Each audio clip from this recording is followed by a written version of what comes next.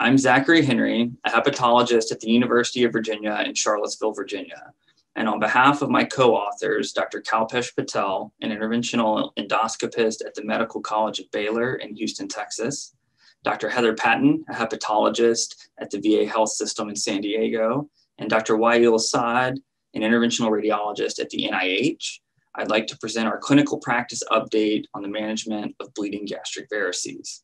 It's very important to understand that the management of gastric varices is quite different from the management of esophageal varices.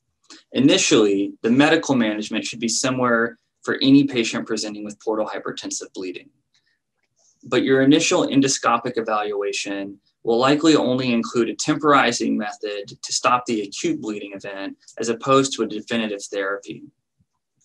The initial endoscopic findings should ideally be combined with cross-sectional imaging with MRI or CT to evaluate the underlying vasculature of the gastric varices.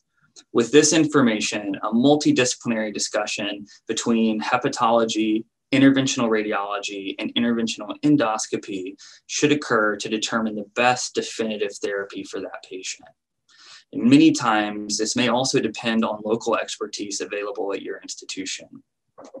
For endoscopic therapy, cyanoacrylate injection is the best therapy to use to prevent long-term rebleeding.